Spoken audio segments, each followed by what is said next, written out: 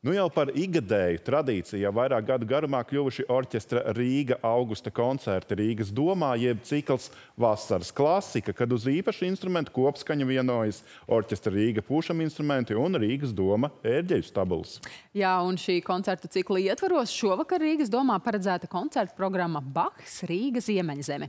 Šajā gadījumā Ziemeļzeme ir Somija, jo koncertā dzirdēsim gan Žana Sibēliusa, gan mūsdienu somu komponistu Dairadi, un pie mums šorīt studijā ir ir orķestra Rīga mākslinieckais vadītājs Valdis Butāns, somu komponists Juka Peka Lehto un arī saksofonu kvartets Atomos. Labrīt! Labrīt! Labrīt. Jā, Valdi, e, kādēļ šoreiz tā iedvesma tik meklēta tieši Somijā?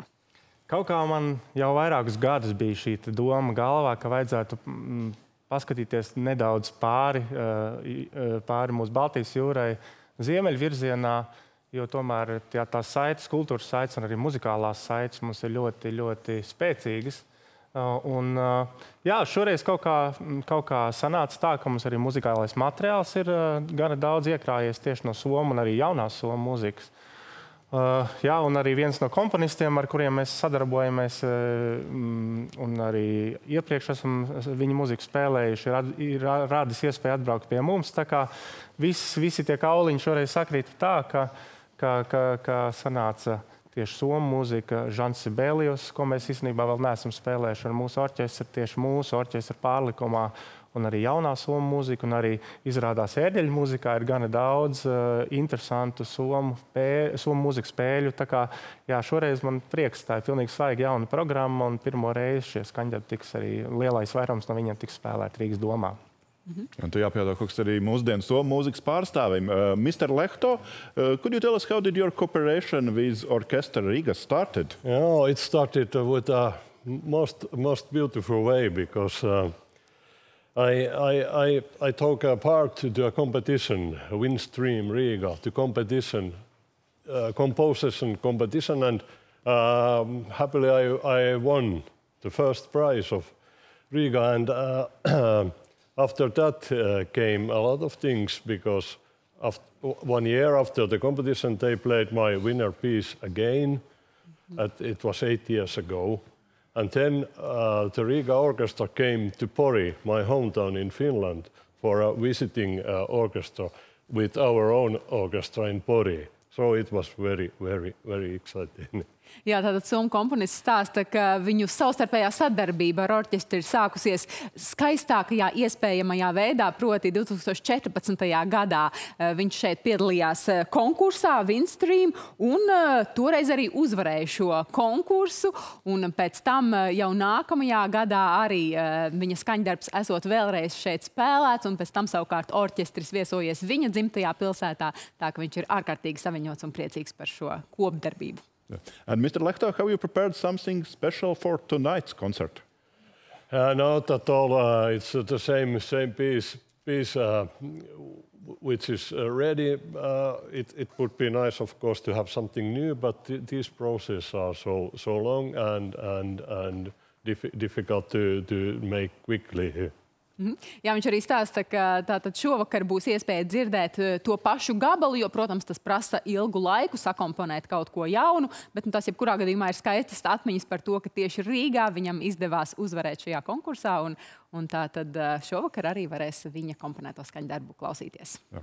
Eh, bet Valdi varbūt ieskatē nedaudz, kādas tad orķestriem ir nākotnes plāni, kāds ir tas koncertu grafiks? Jā, pavisam, pavisam īsos vārdos, lai neaizietu tālā nākotnē. Mums pats tuvākais pēc šī vakara koncerta, kurš būtībā šovakar jau pulksten 19. Rīgas domā, vēl var paspēt visi, kam, kam, kam, kam tas interesētu, atnākt un mums noklausīties šo jauno programmu.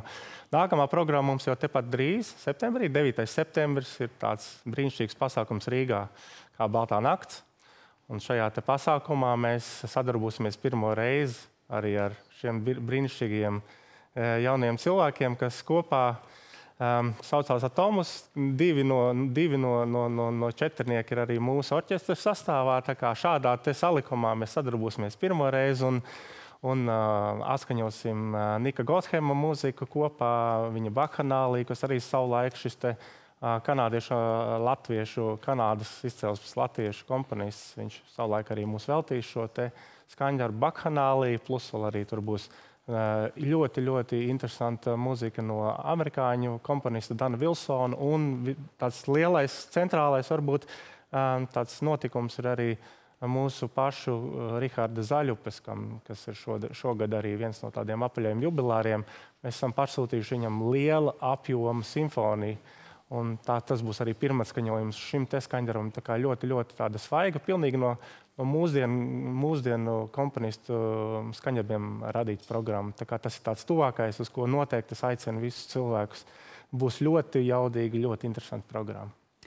Nu, es domāju, jaudīgs būs arī noslēgums mums šajā rītā. Tā kā uh, laiks priekšnesumam. Lai skanā Tomas.